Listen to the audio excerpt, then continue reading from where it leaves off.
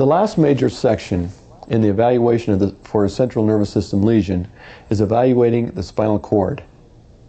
Evaluation of the integrity of the spinal cord requires evaluating the descending spinal tracts or motor pathways and the ascending spinal tracts or sensory pathways. There are essentially two descending tracts which a clinician should be familiar with. The first is the cortical spinal or pyramidal tract, and the second is the extrapyramidal. Lesions of either of these two tracts produce an upper motor neuron lesion and present with the signs discussed previously in this tape. Let's talk about how to evaluate the cortical spinal tract. This is done by performing the pathological reflexes. First, the Babinski reflex or the plantar stimulation reflex, and secondly, the Hoffman reflex. The way we evaluate for the Babinski reflex is by taking our Taylor hammer or a blunt instrument, raising the leg, and stroking the heel of the foot towards the ball of the foot in a circular fashion. Let's do it one more time. We start at the heel, along the lateral foot, stroking towards the center of the foot, ball of foot. And you see how the toes curl? That means the toes are down going to plantar stimulation, which is a normal reflex. Let's do the other side.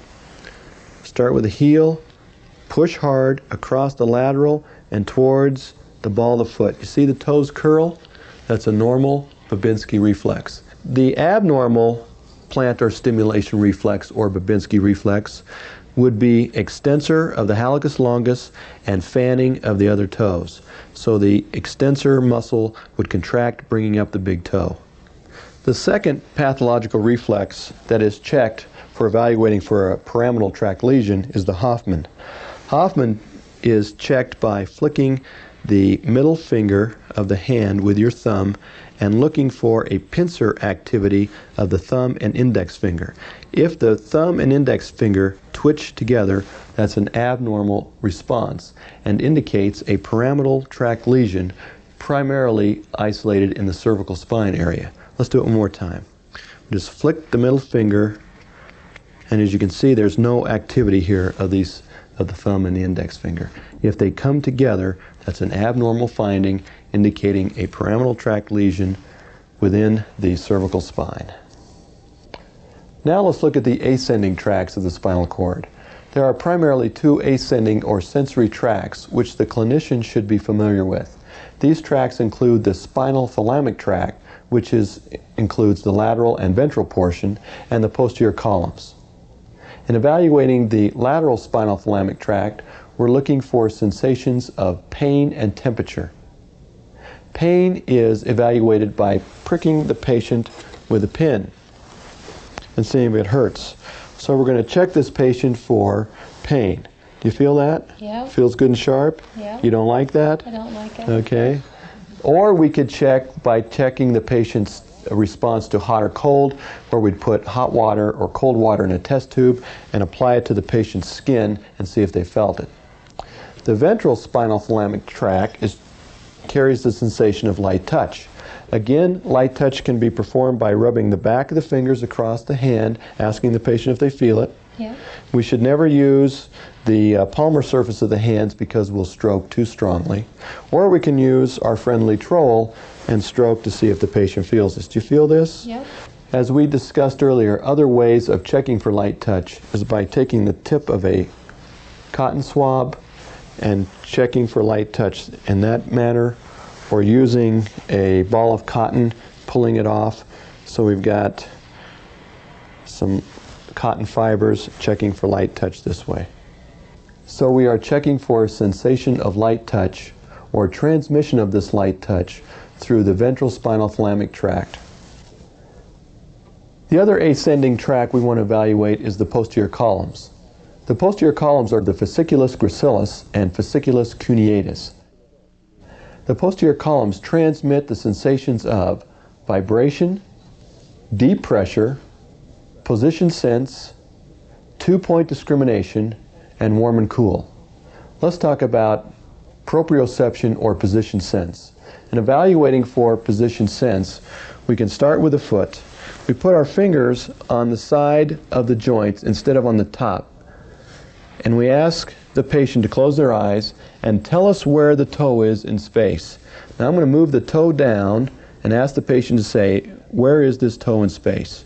Down. Down. Now I'm going to move it again and see what they say. Now let's look at vibration.